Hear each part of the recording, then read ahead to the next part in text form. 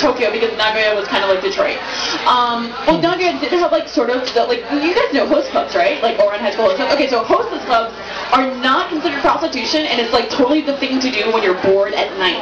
And you go there. We went. Then we were like across the street from not the red light district, but like the nightlife place. We were we were we were trying to find uh taco. Oh wait.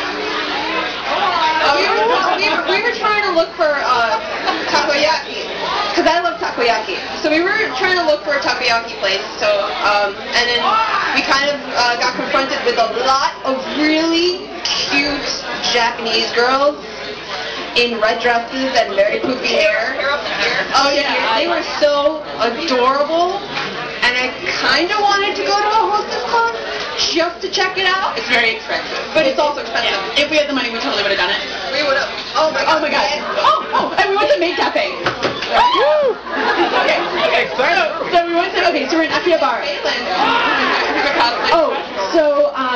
2016 Singapore. Uh, one of the girls is Ferlin.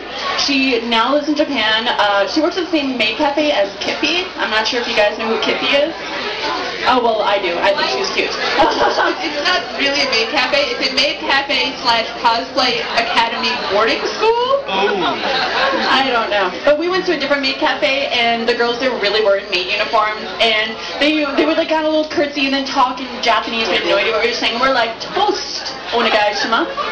And then and then they like talking more Japanese, and they curtsy. And they were so cute. No, Kippy's in China right now for eight months. But the maid cafes were spectacular. They did. They were very polite and curtsied after everything, and they were very um, formal with us as well. I, I had, I was, we were sitting there, we were like, oh my god, we're in a maid cafe. This is so cool.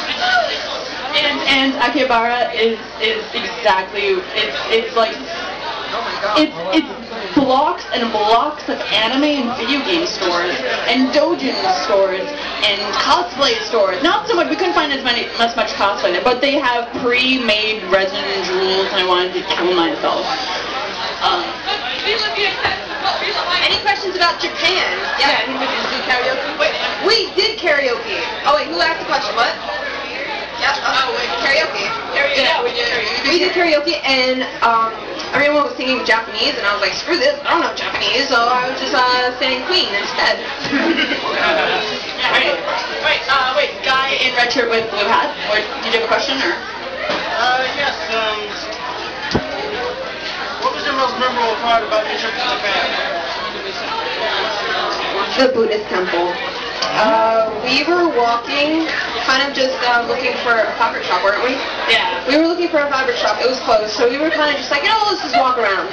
And uh, we came across this incredibly big Buddhist temple, and we're like, damn, there's nobody here. Let's check it out. So we kind of snuck in there, and all of a sudden, like, all these monks come out of nowhere. And they're like, Not all these, like like three of them. and that's what. I like to exaggerate things. So these so these monks come out of nowhere, and they're like, "Would you like to partake in the ceremonies?" like all gesturing.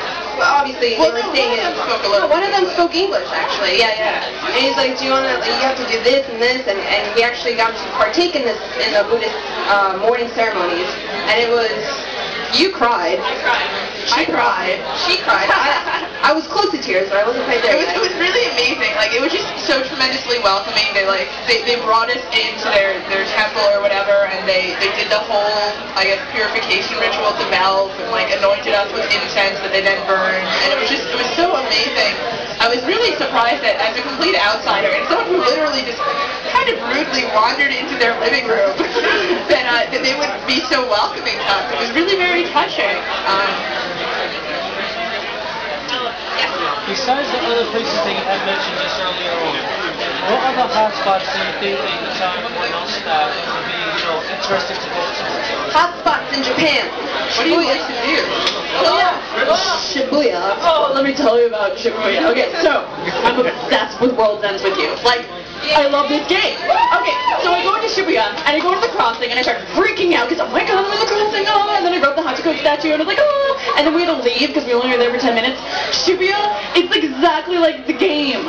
Oh my god. It's like the movie. Everything was It was oh. amazing. Uh, what else? Harajuku was pretty cool. Harajuku. If you love Japanese fashion,